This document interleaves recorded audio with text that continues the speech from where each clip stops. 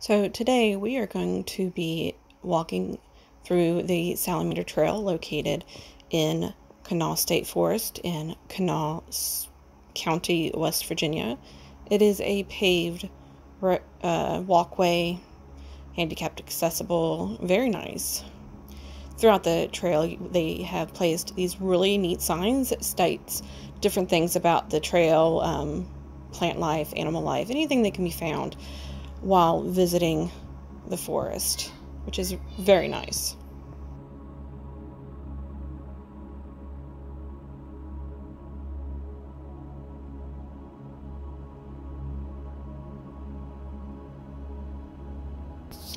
The uh, Salamander Trail is about a quarter mile long and named after one of the most common amphibians found in West Virginia, the spotted salamander.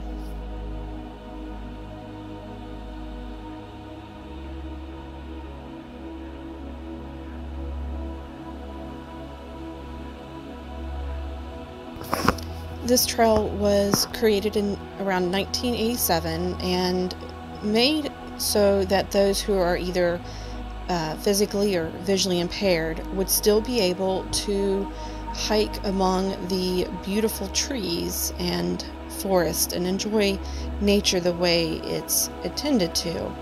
And just recently, it has this trail has been re uh, like they re they fixed it up, added uh, some nice benches for people to sit, and that's when they redid all of these signs for the visitors.